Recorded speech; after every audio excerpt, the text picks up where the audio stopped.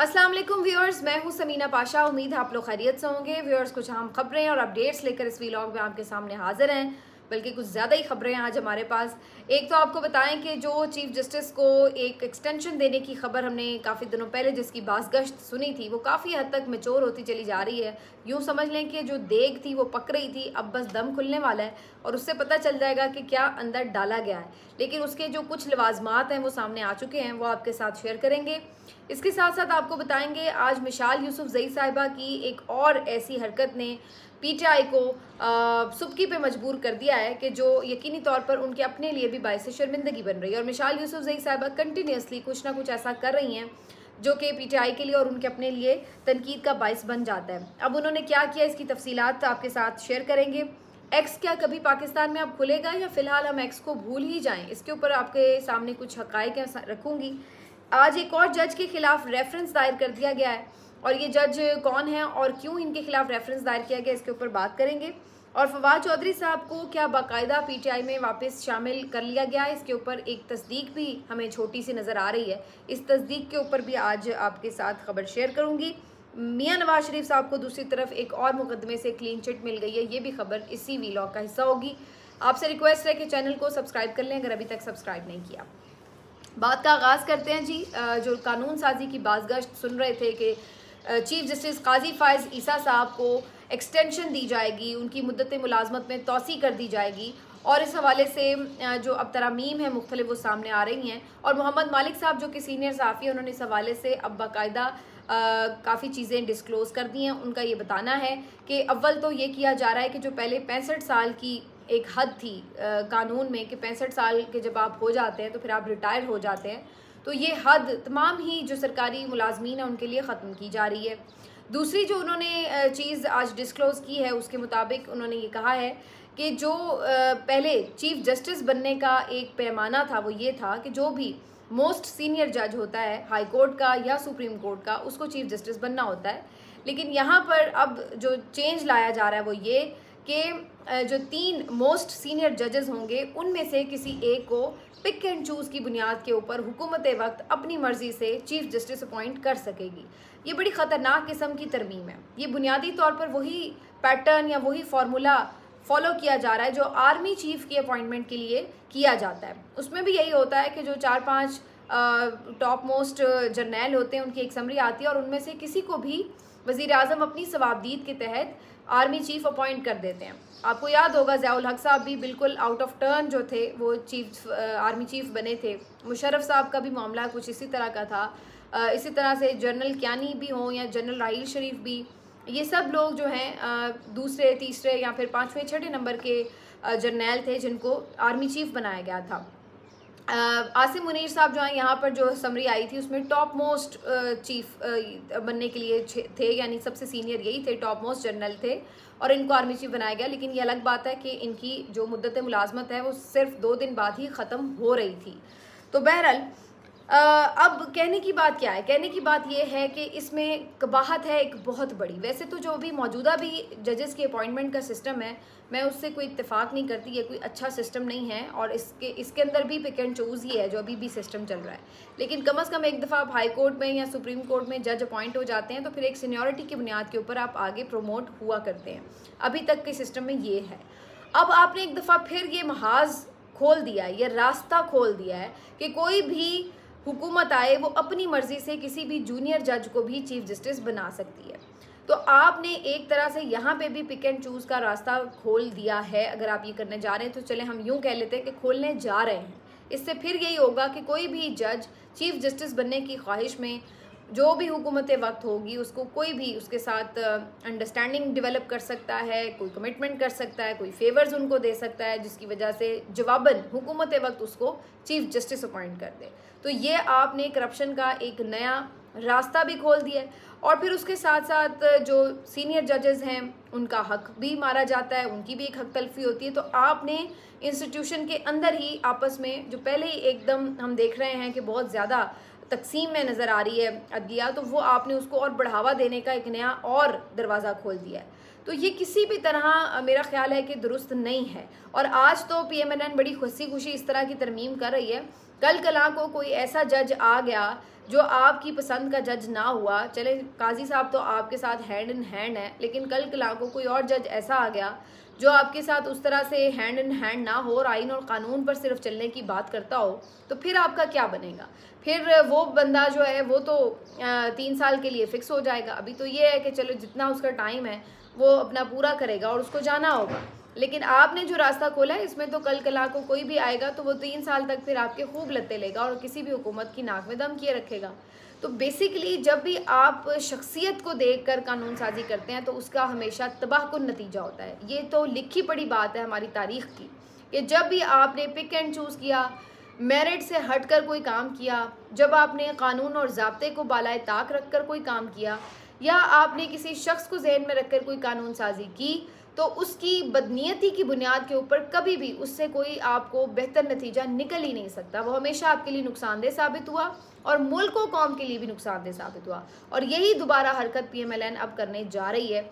लेकिन इसकी वजह बड़ी साफ़ है कि जब आप जाली मैंडेट के ऊपर बैठे हों तो आप खौफ में मुबतला रहते हैं और आपको लगता है कि चीफ जस्टिस काजी फायज अगर चले गए और कोई भी जो उनकी जगह वैसे तो अब मंसूर अली शाह साहब का टाइम है, उन्होंने मुकर होना है चीफ जस्टिस। तो अगर वो उनकी जगह पर आ गए या उनकी जगह कोई भी और जज आ गया, जो कि सही मानों में फॉर्म 45 फॉर्म 47 का मसला हल करने बैठ गया, जिसने मखसूस नशस्तें, जिसका हक है उसको वापस कर दी तो फिर इस हुकूमत का क्या बनेगा? तो इस वजह से अपने आप को सिक्योर करने के लिए इन्होंने ये अब ओछे हथकंडों पर उतर आए हैं और ये इस किस्म की चीज़ें कर रहे हैं। और ये डायरेक्ट कानून साजी जो है, मेरा ख्याल काजी फायज साहब के लिए बहुत ज़्यादा नुकसानदेह साबित होने जा रही है। अगर काजी फायजा साहब इनके साथ इस सारे अमल में शराकतदार नहीं हैं तो उन्हें वैसे ही अनाउंस कर देना चाहिए कि वो किसी किस्म की कोई एक्सटेंशन में इंटरेस्टेड नहीं है। जो मर्ज़ी कानून साजी हो, वो अपने टाइम पर रिटायर हो जाएँगे। अगर वो ऐसा करते हैं तो उनके लिए ये अच्छा होगा बजाय इसके कि वो ज़बरदस्ती चीफ जस्टिस की कुर्सी पर बराजमान रहें, क्योंकि वो ऑलरेडी बहुत कॉन्ट्रोवर्शल हो चुके हैं। तो बहरहाल जी, ये सारी बात थी उस कानून साजी से मुतलिक दूसरी तरफ़ हमने देखा कि इंसदाद दहशत गर्दी रावलपिंडी की अदालत के जज एजाज साहब के ख़िलाफ़ एक रेफरेंस फ़ाइल कर दिया गया और इस रेफरेंस का इंकशाफ खुद जज साहब ने किया। आज जब उनकी अदालत में समात हो रही थी तो उन्होंने कहा कि जनाब मेरे ख़िलाफ़ चूँकि अब रेफरेंस आ चुका है तो मैं जब तक इस रेफरेंस पे कोई फ़ैसला नहीं होता, अपने आप को इन मुकदमात से अलग करता हूँ। बेसिकली ये वही जज साहब हैं जिन्होंने बहुत से जो पीटीआई के लीडरान हैं, नौ मई के मुकदमात में नामजद थे, उनको ज़मानतें दी हैं। ख़ुद शाह महमूद कुरैशी और इमरान खान साहब की भी ज़मानतें इन्होंने कन्फर्म की थी। और अब बहुत सारे और जो लीडर्स हैं, जिनमें मेरा ख्याल है ख़ुद शेख रशीद साहब भी शामिल हैं और शायद शीरी मजारी साहिबा भी इनकी भी नौ मई के मुकदमात में ज़मानतों ज़मानतें इन्होंने दी थी। तो अब ये जज साहब खुद जो है शिकंजे में आ गए हैं और इनके खिलाफ रेफरेंस दायर किया गया है। अब ये टाइमिंग खुद बता रही है कि आप इंतकामी कार्रवाई करें। तो आप कितने लोगों के खिलाफ करेंगे? ये छः जज भी बुरे हैं। अब ये रावलपिंडी, इंसदाद दहशत गर्दी अदालत के जज भी बुरे हैं। यानी जो जज भी आपके प्रेशर में नहीं आ रहा या वो अपने तौर पर एक फ्री माइंड के साथ फैसला कर रहा है तो आप उन सब के ख़िलाफ़ अब एक ही दफ़ा रेफरेंस फ़ाइल कर दें। यही आपकी औकात है और यही आपकी हकीकत है। और ये जो हुकूमत की तरफ़ से रेफरेंस फ़ाइल किया गया है चूँकि पंजाब के उसमें आता है अंडर तो ज़ाहिर है इसका मलबा भी मरीम नवाज़ के ऊपर ही गिरेगा। तो ये वही चीज़ हो रही है जो कि पहले बहुत शोर मचा करता था वंस अपॉन अ टाइम एक रेफरेंस आया था काजी फायजा के ख़िलाफ़ और पूरा मीडिया उसके ऊपर मातम गुनाह था कि ये जनाब बड़ा जुल्म हो गया क्योंकि काजी फायजा ने फैज़ अमीर के ख़िलाफ़ फ़ैसला दिया, इसलिए उनके खिलाफ रेफरेंस आया। और यहाँ पर अब आप देख रहे हैं कि मज़ाहिर अकबर नकवी से लेकर जस्टिस एजाजुलहसन से लेकर और उसके बाद अब ये वाले जज साहब हों, या और भी कई जज साहिबान हैं, लाइन पाइपलाइन में मौजूद है, उनके खिलाफ भी रेफरेंस तैयार है। मोहसिन एहसन मोहसिन अख्तर कियानी साहब हों। तो ये सारा एक सिलसिला इन्होंने पूरा, जिसको कहते हैं, थोक के हिसाब से रेफरेंस जो है वो फ़ाइल करने की तैयारी कर रखी है। वजह यही है कि जजेस को अंडर प्रेशर किया जाए। तो ये जो जज साहब का मामला है, इसको छः जजों के ख़त से मुख्तलिफ़ ना समझा जाए। इसको उसी के साथ, उसी तनाजुर में आप देखें तो आपके सामने कहानी वाज हो जाती है। दूसरी तरफ़ जो अपने इनके लोग हैं, उनके लिए किस तरीके से इंसाफ बट रहा है, उसकी एक मिसाल आप देख लें कि मियाँ नवाज़ शरीफ साहब ने जो गाड़ी तोशा खाना से ली थी, उसके खिलाफ एक रेफरेंस मामला चल रहा था अदालत में। आज इस सिलसिले में नैब ने खुद एक रिपोर्ट जमा कराई है, जिसमें उसने ये बताया है कि जी, मियाँ साहब के ऊपर कोई हमें इतराज़ नहीं है, आप इस केस से उन्हें बरी कर दें। और उन्होंने जो गाड़ी ली थी, वो तो उस वक्त तोशा खाना का हिस्सा ही नहीं थी। अब ये अजीब गरीब किस्म की एक लॉजिक बनाने की कोशिश की जा रही है कि जनाब वो गाड़ी जो पहले सऊदी अरब ने गिफ्ट की, वो वहाँ तोशाखाना में पड़ी रही, फिर काफ़ी साल पड़े रहने के बाद यूसुफ रज़ा गिलानी साहब ने वो गाड़ी भिजवा दी मियाँ साहब को कि भाई ये आपकी गाड़ी पड़ी हुई है, ये आप ले लें। उन्होंने वो गाड़ी बगैर किसी अदायगी के रख ली और अब बताया ये जा रहा है कि जी उस वक्त वो गाड़ी तोशाखाना का हिस्सा ही नहीं थी। भाई क्यों हिस्सा नहीं थी? कौन सी ऐसी वहाँ पे तरमीम हो गई थी कानून साजी हो गई थी, रूल्स रिलैक्स हो गए, क्या रूल्स रिलैक्स हुए थे भाई? कौन से रूल्स थे? क्या उनमें रिलैक्सेशन की गई थी? कुछ पता तो चले सामने तो आए। एक लफ्ज़ पकड़ के सारे शुरू हो गए, जो, रूल्स रिलैक्स हो गए, वो गाड़ी तोशा खाना का हिस्सा ही नहीं थी। क्यों जी वो गाड़ी, फिर क्यों तोशा खाना का हिस्सा नहीं थी? किधर से वो गाड़ी एकदम बारिद हुई? कहाँ पर गायब हुई? क्यों वो मियाँ साहब को वापस मिल गई? तो जब इन्होंने क्लीन चिट्टें देनी होती हैं तो फिर ये इतने बड़े बड़े वारदातों के ऊपर इस तरह से क्लीन चिट्टे पकड़ाते हैं। तो ये सूरत हाल थी। तो बहरहाल जी, नैब ने मियाँ साहब को इसमें बरी कर दिया रेफरेंस से। दूसरी तरफ़ जो है, गाड़ी की बात आई है तो आपको बता दें कि मिशाल यूसुफ जई साहिबा जी रोज़ पीटीआई के लिए एक नई शर्मिंदगी का बायस बन रही हैं। खैबर पख्तूनख्वा हुकूमत में ये शामिल हैं और वज़ी अला की मुशीर हैं राय समाजी बहबूद। और इससे पहले पहले वो अपनी जो कुछ ख़वातीन, वकला हैं, उनके साथ उलझती रहीं, नौ मई के मामला के ऊपर लिस्ट दे दो, नहीं दे दो, उनको कुछ कह सुन लिया। फिर उसके बाद हमने इनकी वो देखी कि जी, वो जो लोगों की इमदाद करने की तस्वीर वायरल हो गई, उस पर तनकीद शुरू हो गई कि भाई, यही बात पे तो हम पीटीआई पीटीआई वाले जो हैं, ये सारे पीएमएलएन को तनकीद का निशाना बनाते हैं तो आप अब यही काम यहाँ पे करने शुरू हो गई हैं। फिर उसके ऊपर तरदीदें, वजातें, शो कॉज, ये, वो कर कर के मामला रफा दफ़ा किया गया। तो अब जनाब इनका एक नया कारनामा सामने आ गया है। इनकी वजारत की तरफ़ से जो है एक समरी भेजी गई है। इस समरी के तहत ये कहा गया है कि जी इनको एक नई गाड़ी चाहिए, क्योंकि जो इनकी गाड़ी ज़र इस्तेमाल है, वो सात साल की अपनी मुद्दत पूरी कर चुकी है। तो लिहाजा अब इनको एक नई गाड़ी चाहिए जो कि एक करोड़ सत्तर लाख रुपए की हो। मेरा फॉर्चूनर गाड़ी के लिए रिक्वेस्ट भेजी गई है। और ना सिर्फ़ इनकी, बल्कि इनकी सेक्रेटरी के लिए भी गाड़ी चाहिए। तो जैसे ही ये खबर मीडिया पर आई तो उसके बाद ज़ाहिर है इसके ऊपर शोर मच गया कि जी, इमरान खान की हुकूमत में तो आप ये नहीं एक्सपेक्ट करते कि वज़रा इतनी महँगी गाड़ियाँ आवाम के पैसों के ऊपर लेकर और उनके ऊपर सफ़र करें। हमारा सूबा, हमारा मुल्क किन हालात में है? सादगी की बात की जाती थी और यहाँ पर फिर आपने अगर आवाम के पैसों के ऊपर अयाशियाँ करनी है तो फिर ये कौन सा विजन जो खान साहब का, जो आप इसके ऊपर जो है वो फॉलो कर रहे हैं? तो मिशाल यूसुफ जई साहिबा की वजारत की तरफ़ से ये जो समरी आई, इसके ऊपर खूब फिर जब तनकीद शुरू हो गई तो फिर खैबर पख्तूनख्वा हुकूमत की तरफ़ से ये वजाहत जारी की गई कि भाई हमने तो पहले ही, जब शुरू में भी हुकूमत बनी थी, तब भी ये गाड़ियों के हवाले से कुछ समरियाँ आई थी तो हमने उसी वक्त सारी रिजेक्ट कर दी थी और कहा था कि कोई नई गाड़ी जो है नहीं आएगी सुबह अभी इसका मुतहमल नहीं हो सकता कि इस तरह की अयाशियाँ की जाएँ। दूसरी बात उन्होंने कहा कि ये सिर्फ़ समरी है, अगर ये वज़ी अला तक पहुँचेगी या पहुँचती तो उसी वक्त उसको रिजेक्ट कर दिया जाना था, क्योंकि तरीका तो वही था अभी तो ये सिर्फ़ समरी है, कोई अप्रूवल नहीं हो गया। मुजम्मिल इसलम साहब ने इस पर अलग से एक ट्वीट किया, जो कि आपको पता है, मालियाती मशीर हैं, खैबर पख्तूनख्वा हुकूमत के। और उन्होंने बड़ा कैटेगोरिकली इसके ऊपर वाज तौर पर बताया कि इस तरह की कोई चीज़ नहीं है और ये सिर्फ़ एक जस्ट रिक्विजिशन है और रूटीन में अक्सर महकमे अपने तौर पर इस तरह की रिक्विजिशन भेजते रहते हैं। इसका मतलब ये नहीं कि वो अप्रूव होने जा रही हैं और उन्हें गाड़ियाँ मिली जाएँगी। तो ये सारी कहानी है। बहरहाल, तनकीद इस बात पे हो रही थी कि वो अप्रूव होती या ना होती, वो तो एक अलग कहानी है। असल बात ये कि ये डिमांड ही क्यों की गई? तो बड़ा सख्त किस्म की स्क्रूटनी हो रही है इस वक्त पीटीआई वालों के लिए और मैं हमेशा वही बात कहती हूँ कि सोशल मीडिया पर अक्सर लोग कहते हैं, जी सोशल मीडिया पीटीआई का भाई ये किसी का भी नहीं है। यहाँ पर जो बंदा गलत काम करेगा, उसी की क्लास शुरू हो जाती है। और यही हमने देखा है कि सिर्फ़ एक डिमांड आने के ऊपर भी उनके ऊपर अच्छी खासी तनकीद शुरू हो गई कि आपने डिमांड भी क्यों की? जिस गाड़ी में आप पहले सफ़र करती थी मशीर बनने से पहले, अब उस पर आप क्यों नहीं सफ़र कर सकती? ऐसी क्या तकलीफ़ हो गई है? तो उसके बाद अब मज़ीद एक और वजाहत इसमें जारी हुई कि नहीं जी, ये मिशाल यूसुफ जई साहिबा की तरफ़ से कोई रिक्वेस्ट नहीं थी। उनसे पूछे बगैर ही उनके डिपार्टमेंट ने ये समरी जो थी वो रूटीन वाइज जारी कर दी थी कि जी, सात साल पूरे हो गए तो गाड़ी चेंज हो जाए। ये उनकी उसमें अप्रूवल शामिल नहीं थी। तो अब अब जो मर्ज़ी इस बात को कहें कि अप्रूवल शामिल थी या नहीं थी, लेकिन मिशाल यूसुफ जई साहिबा की तरफ़ से रोज़ कोई ना कोई ऐसा मामला होता है जिसकी वजह से पीटीआई को सुबकी का सामना करना पड़ता है। और मैं पहले ही कह रही हूँ कि मिशाल यूसुफ जई साहिबा से लग रहा है कि मरीम नवाज़ से बड़ी इंस्पायर है। तो उसी तरह की चीज़ें फॉलो करने की जो है वो लगता है कि जैसे कोशिश कर रही हैं। मेरा ख्याल से थोड़ा देखना चाहिए पीटीआई को इस मामले को और सोचना चाहिए कि किस तरह के लोग आपने अपनी कैबिनेट में रखे हैं, जो कि इनके लिए बायस शर्मिंदगी जो है वो बन रहे हैं, रोज़ाना की बुनियाद पर। कोई एक आध चीज़ का हो गया, चलो आपने कवर अप कर लिया, लेकिन हर रोज़ की बुनियाद पर आपके ऊपर अगर इस तरह की चीज़ें आ रही हैं तो यकीनी तौर पर यह आपकी गवर्नमेंट की जो परफॉर्मेंस है, उसके ऊपर फिर असरअंदाज होती हैं। और सबसे बड़ी बात वही है कि परसेप्शन की बात है। आपके अपने ही सारे आपके खिलाफ बोलने लग जाते हैं और फिर ज़ाहिर है कि आपको बैकफुट पे जाना पड़ता है। तो ये थी जी कहानी मिशाल यूसुफ जई की गाड़ी की। अब आ जाते हैं जी इस बात के ऊपर कि एक्स में क्या हो रहा है। एक्स ट्विटर बंदिश के हवाले से जो है इस्लामाबाद हाई कोर्ट में आज रिपोर्ट वजारत दाखिला की तरफ़ से जमा कराई गई, जिसमें आखिरकार बिल्ली थैले से बाहर आ गई है।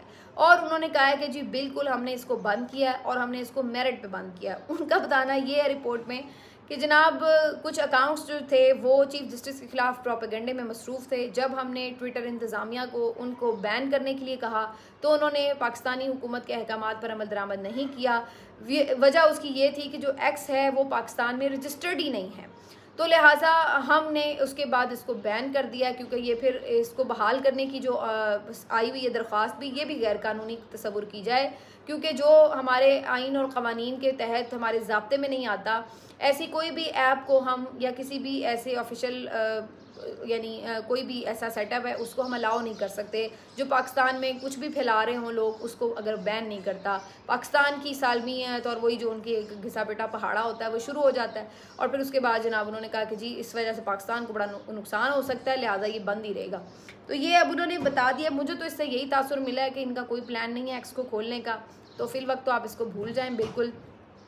और आगे मेरा ख्याल है हमें तो खबरें ये भी आती हैं कि भाई और भी जो सोशल मीडिया ऐप्स हैं, शायद उनकी भी ये गला घोंटने की तैयारी में है। सबसे ज़्यादा तकलीफ़ जो थी, वो एक्स की थी, उसको सबसे पहले पकड़ा गया हाँ। अलबत् जो सिंध हाई कोर्ट के चीफ जस्टिस हैं, उन्होंने ज़रूर कोई सख्त इसके ऊपर रिमार्क्स दिए हैं कि जी, हमें अगले हफ़्ते तक लाजमी इसके बारे में बताया जाए, वरना हम कोई हुक्म जारी करेंगे, वगैरह वगैरह। लेकिन अगैन वही बात है, अदालतों के हुक्म या सख्त अहकाम के ऊपर जब अमल दरामद ही ना करना हो तो फिर कौन यहाँ पे अमल दरामद करा सकता है? तो इसलिए मुझे तो इस सिलसिले में कोई अदालतों से इस पर होप नहीं है कि वो इसको बहाल करा सकते हैं। और अब तो बड़ा खुल के वजारत दाखिला का मौक़ सामने आ गया है। और मैं तो ये भी सोचने पर मजबूर हूँ कि अगर ये इतनी ही गैर कानूनी ऐप है तो ख़ुद वज़रा या पाकिस्तान के सरकारी अकाउंट्स क्यों बने हुए हैं इसके ऊपर? इसको फ़ौर डिलीट होना चाहिए। और वज़रा को भी चाहिए कि वो एक्स यूज़ ना करें, क्योंकि भाई ये तो गैर कानूनी ऐप है। तो इनको भी चाहिए कि वीपीएन लगा लगा के ट्वीट ना किया करें। और इनको चाहिए कि जितने भी ऑफिशियल हमारे अकाउंट्स हैं, उनसे भी किसी किस्म का कोई भी मैसेज जो है आवाम तक ना पहुँचाया जाए, क्योंकि ये तो गैर कानूनी किस्म की वेबसाइट है। तो मेरा ख्याल है कि अगर आप में थोड़ी सी भी ग्रेस है और अगर आप इसको इस तरीके से, इस अंदाज से देखते हैं तो फिर थोड़ा थोड़ी सी ये भी शर्म करें कि फिर अपने भी अकाउंट सारे बंद कर दें ताकि हमें पता चले कि वाकई इसका टोटल बॉयकॉट है भाई, क्योंकि ये पाकिस्तान में रजिस्टर्ड नहीं है। तो ये एक बड़ी सीधी सी सूरत हाल है। लास्टली आपको बता दें, इंतज़ार पंजोता साहब ने अतर काजमी साहब के शो में गुफ्तु करते हुए फवाद चौधरी साहब से मुतलिक ये बताया है कि इमरान खान साहब उनकी तारीफ़ करते हैं और उन्होंने ये कहा कि उनके ऊपर बड़ा दबाव रहा और उन्होंने काफ़ी कुर्बानी भी दी है। वजह यही है कि उनको इमरान खान साहब के ख़िलाफ़ गवाह बनाना चाहते थे, लेकिन फवाद चौधरी साहब ने रजिस्ट किया है। तो इस पर इमरान खान साहब ने हमेशा उनके लिए अच्छे अल्फाज इस्तेमाल किए हैं और उनकी तारीफ़ की है। तो ये अल्फाज थे इंतज़ार पंजोता साहब के, जो कि फोकल पर्सन भी हैं इमरान खान साहब के। तो जो एक वो टीम बनी हुई है, उसमें उनका भी नाम है। तो ये बड़ी खुशाइन बात है। एक तरह से इसका मतलब है कि ये उन्होंने फवाद चौधरी साहब के लिए तकरीबन तस्दीक कर दी है कि वो पीटीआई का ही हिस्सा है, क्योंकि कुछ दिन पहले फवाद चौधरी साहब ने ये बात कही थी कि मेरे मुस्तबिल का फ़ैसला इमरान खान ही करेंगे। तो उनका मतलब यही था कि अगर वो पीटीआई में उनको समझते हैं कि वो पीटीआई में हैं तो इसका मतलब वो तो अपनी सियासत पीटीआई के साथ ही करने में ख्वाहिशमंद हैं। तो अब काफ़ी हद तक ये बात क्लियर हो गई है कि फवाद चौधरी साहब के हवाले से इमरान खान साहब की तरफ़ से भी ग्रीन सिग्नल ही है। इंतज़ार पंजोता ने जो बात की है उससे तो कम अज़ कम यही तासर मिलता है। बाकी फवाद चौधरी साहब अभी मोहतात हैं और मेरा ख्याल है वो भी फर्दर मोहतात रहेंगे भी। क्योंकि बिला वजह वो भी नहीं चाहेंगे कि उनको भी बार बार बिला वजह जेलों में डाला जाए। बिला वजह वो भी आ, जो है वो मज़ीद अजियतें झेलें नए नए मुकदमात झेलें। अलबत्त ये ज़रूर है कि जब वो अब ट्वीट वगैरह कर रहे हैं तो उसमें मैं देख रही थी कि जब शुरू में वो ट्वीट किया करते थे, चाहे वो कोई फ़लस्तीन के मसले पे ट्वीट करते थे या किसी और मसले पे ट्वीट करते थे तो नीचे खासी क्लास हो रही होती थी और लोग काफ़ी तनकीद कर रहे होते थे। लेकिन अभी उन्होंने रिसेंटली रिहा होने के बाद जो ट्वीट्स किए हैं उसके ऊपर काफ़ी पॉजिटिव रिस्पांस था लोगों का और मैं देख रही थी, बहुत सारे कमेंट्स में लोग कह रहे थे कि वेलकम बैक और अच्छा हुआ, आप वापस आ गए, आप जैसे एक ब्रेनी आदमी की ज़रूरत है पीटीआई को वगैरह वगैरह। तो ये उनकी वापसी के हवाले से उस तरीके की रेजिस्टेंस देखने में नहीं आई, जो अली जैदी साहब या कोई और छोड़ के जाने वालों के हवाले से रेजिस्टेंस देखने में आई। तो फवाद चौधरी साहब के लिए तकरीबन रास्ता अब साफ़ और हमवारी नज़र आ रहा है और लोगों ने भी मेरा ख्याल है उन्हें एक्सेप्ट किया है। अगर खान साहब ने उनके लिए नरम गोशा दिखाया है तो दूसरी तरफ़ जो फॉलोअर्स हैं उन्होंने भी इस बात की तस्दीक किया है कि फवाद चौधरी साहब ने भले ही एक ट्वीट करके पीटीआई से जाने की बात की थी, लेकिन उन्होंने बहरहाल पीटीआई से वफ़ा निभाई है और उन्होंने खान साहब से भी वफ़ा निभाई है। तो लिहाजा फ़िलहाल नज़र आ रहा है कि फवाद चौधरी साहब वापस पीटीआई का ही हिस्सा बन चुके हैं। मिलते हैं आपसे अगले वीलॉग में। अपना ख्याल रखिए। अल्लाह हाफ़